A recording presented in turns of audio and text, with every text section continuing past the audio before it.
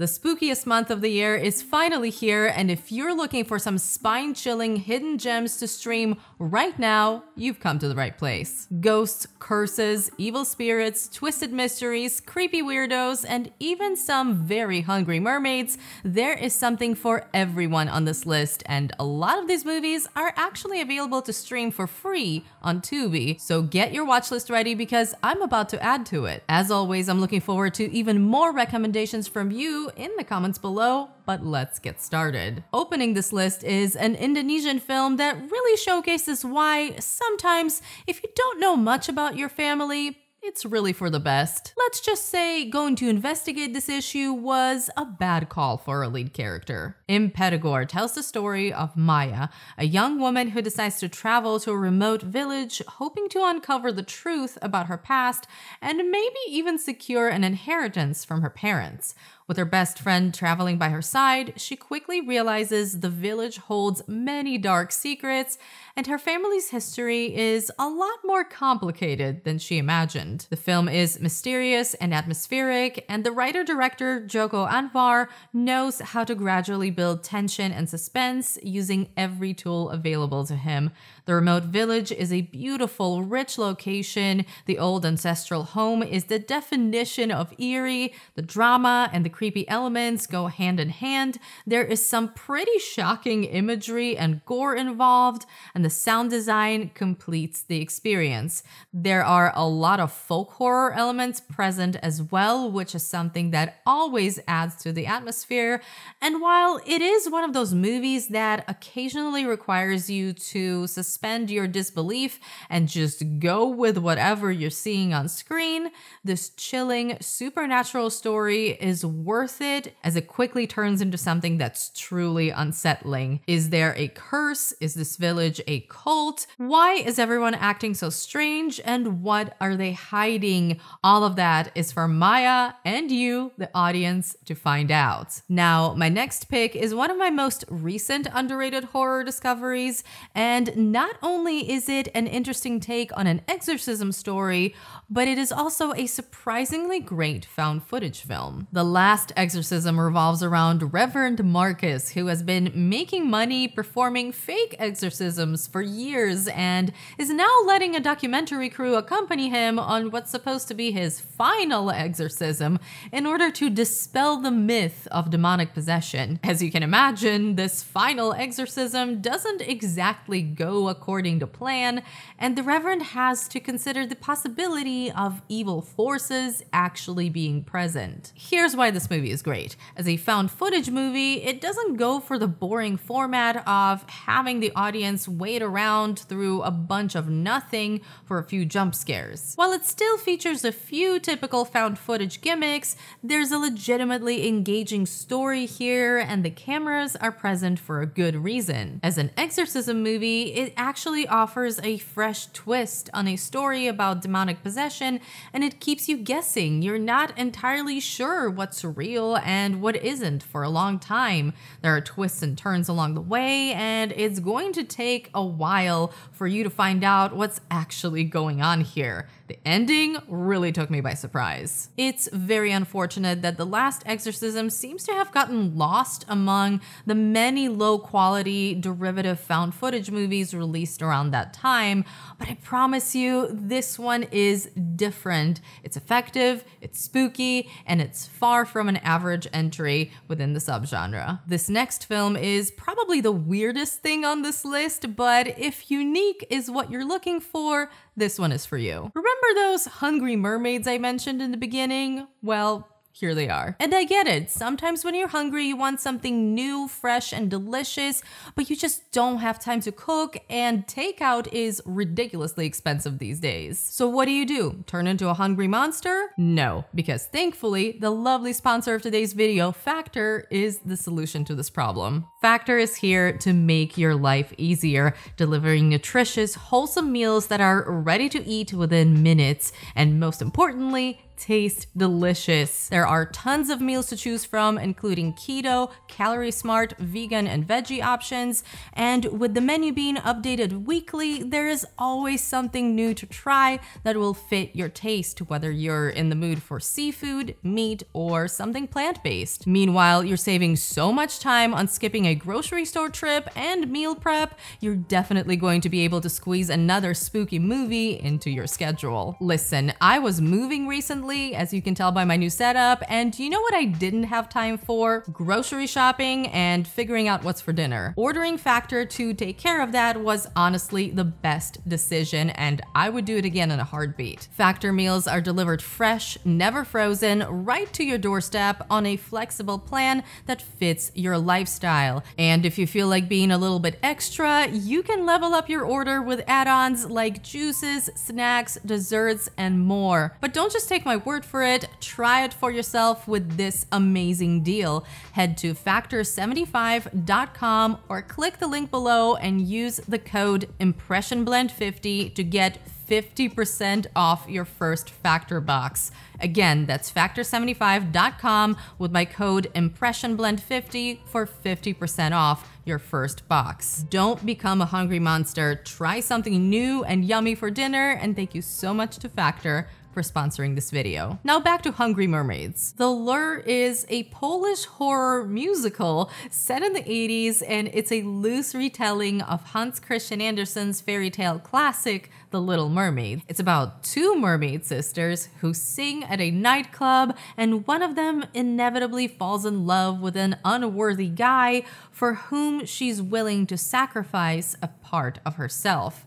Oh, and these mermaids they eat people. Now, as weird as this sounds, and it's definitely going to be too weird for some, The Lure does a beautiful job bringing the horror elements into this classic story, going for that magical combination of dark and whimsical. This is why I love it when horror takes on fairy tales. Yes, making this into a musical that occasionally goes for the 80s music video look is quite the choice, and yet somehow how it works. The overall mood and tone are perfect. The mermaid tail design is interesting and different from what you normally see, and the two actresses who play the sisters are fantastic. They're very different from each other, which is an important part of the story, but they're both enchanting and memorable in their own ways. Are some people going to wonder what the hell did they just watch by the end of this movie? Absolutely, and that reaction is completely understandable.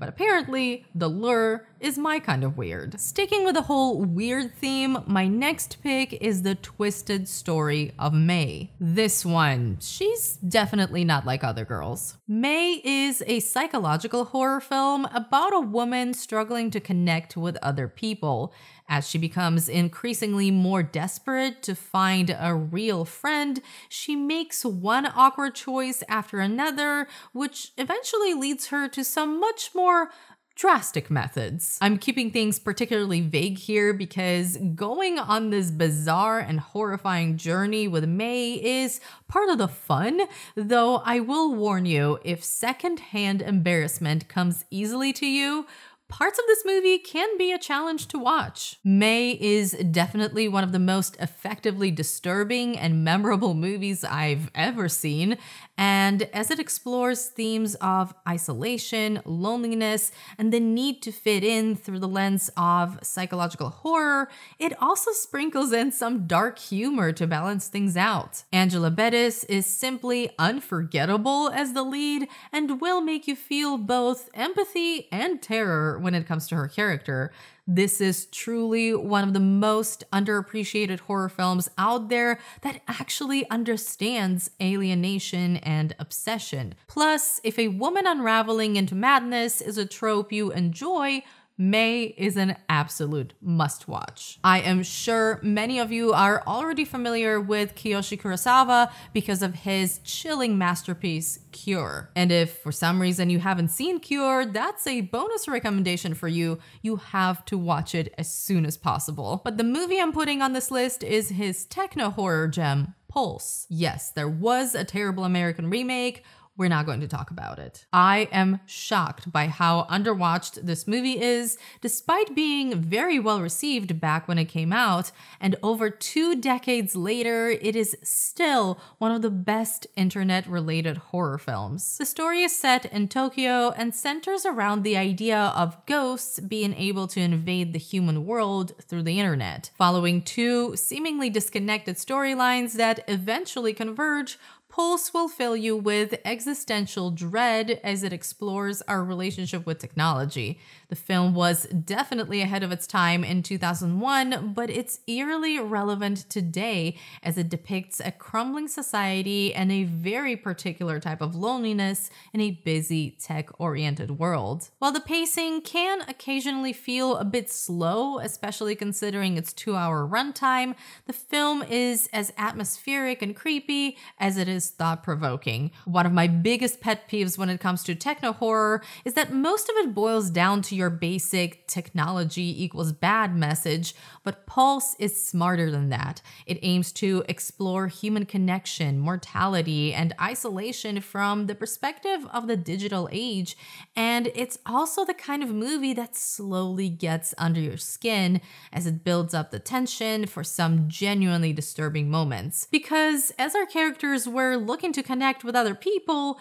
they ended up connecting with a bit more than what they bargained for disturbing videos, overwhelming sadness, and ghosts trying to invade the world of the living. Now, Mike Flanagan has become a spooky season staple over the past five years, particularly because of his multiple great Netflix original series. But he has some really good horror films as well, and his most underrated movie is Ouija Origin of Evil. Yes, the prequel to that awful Ouija movie from 2014, but you can completely ignore that and watch the prequel as a standalone. Set in LA in the 1960s, the movie is about a widowed mother who runs a seance business and her two daughters who help her out. The mother Alice decides to incorporate a Ouija board to spice up her readings, and while she's been knowingly tricking her customers all along, thanks to the board, something from the other side does get through. Unfortunately, this leads to her younger daughter, Doris, getting possessed by an evil entity. While this might sound like your pretty standard possession movie, and in some ways it is, the film is actually darker and creepier than you would expect. What really makes it work are the family dynamics and the drama at the core of the movie. It's a really good story with fleshed out characters, and the writing isn't just there to get you from one scare to the next. It's also an interesting period piece that uses subtle stylistic choices which would have been appropriate in the movie that was actually made decades ago, making the whole thing feel very of its time. There is a little bit of questionable CGI involved, but this is a very minor issue because the suspense, the story, and the characters make this spooky gem stand out compared to many other movies in the possession subgenre. Next up, the scariest movie I saw last year also happens to be one of the most underrated ones because for some reason, Incantation has not gotten enough love ever since its release on Netflix. Let me just say this I don't really get nightmares after watching horror movies, but this one, this one got me. What makes things even spookier is that Incantation is inspired by a true story of a family who believed they were possessed by spirits. This Taiwanese found footage horror film follows a woman who is desperately trying to protect her child from a curse.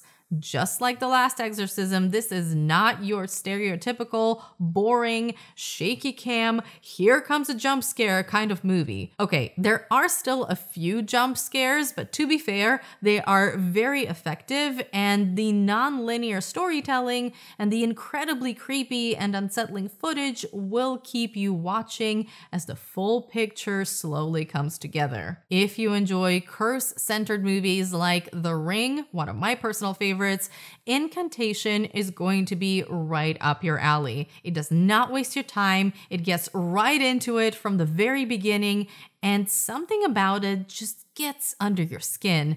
Plus, it doesn't forget to tell a compelling story featuring a motivated lead character very important. This is yet another example of how effective found footage horror can be when done right. This film uses different cameras, different lighting, different types of footage, depending on what fits the story at that time and how specifically it wants to terrify its viewers at that moment. Thanks for the nightmares, Netflix. Now, this one is for my fellow metal fans. Not that you have to be one to enjoy this movie because it's great regardless, but this is a very metal possession movie. The Devil's Candy revolves around an artist, Jesse, and his family who move into a rural Texas home with a dark and disturbing history. As he begins working on his art in the new house, his work becomes increasingly darker and more sinister.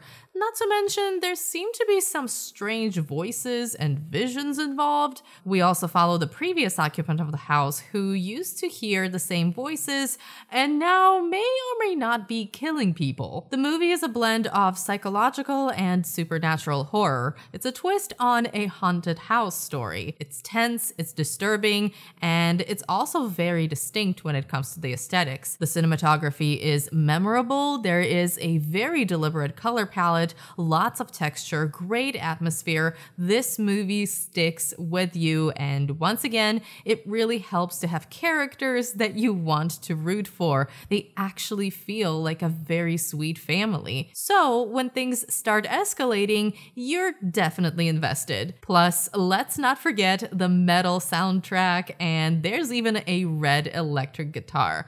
I'm really surprised The Devil's Candy doesn't have a bigger following because it has pretty much everything you would want from a horror movie. Suspense, tension, likable characters, a memorable villain, and there is payoff for everything it sets up. Of course, I have to talk about my favorite found footage film that is still somehow very underwatched and underappreciated. It's an excellent horror mystery, and I would go as far as saying that this is one of the most underrated horror films of the 21st century so far. Lake Mungo is an Australian mystery horror film presented as a mockumentary, and the story revolves around a family grieving the loss of a beloved daughter and sister Alice, whose body is found in the lake. Her family suddenly starts experiencing strange things and occurrences in their home, which leads them to discovering that Alice may have been hiding some secrets the family had no idea about. On one hand, the movie is exploring themes of grief and loss, but it's also a compelling and very creepy mystery featuring a lot of twists and turns. On top of that, something about Lake Mungo feels eerily real and I'm not going to lie, the first time I watched this movie, I had to Google if any of this was actually true. The film is moody, very atmospheric, occasionally pretty sad, and it builds suspense in a very unsettling and haunting way. Instead of trying to shock you, it aims to make you uncomfortable as you begin to question everything you're seeing. It's a pretty unique story written in a way that really pulls you in as you uncover this web of mysteries through found footage, old photographs, and personal accounts of people who knew or thought they knew. Alice. Now, listen, this next movie is the toughest one on this list to talk about without spoilers, so you're just going to have to trust me that despite what the premise sounds like, Triangle is so much more than your average slasher. Do you like major plot twists? Because Triangle has some plot twists for you. The basic premise is this Jess, a single mother, joins a group of friends to go on a sailing trip. They get hit by a storm and, as a result, end up stranded on a deserted cruise ship. However, it quickly becomes clear that they are not alone, and now it's a story of survival. On its surface, Triangle is a typical slasher, complete with a masked killer. But when about halfway through the film, the story takes a turn, which is a spoiler I refuse to reveal, everything changes. The best way to watch this movie is to know as little as possible about it, and going in blind will make for a dark, gripping, and disturbing experience. It also leans into a very interesting metaphor that eventually puts everything into perspective, which I once again don't want to spoil. Listen, I know you might be skeptical based on the fact that I can't tell you much about this movie, but it is such a creative, intricate, and different kind of horror thriller starring Melissa George, who, in my opinion, is a very underrated Scream Queen. Triangle deserves to be way more popular than it is, so I really hope you do take my word for it and check it out. And if you're looking for even more underrated movie recommendations, check out these videos next.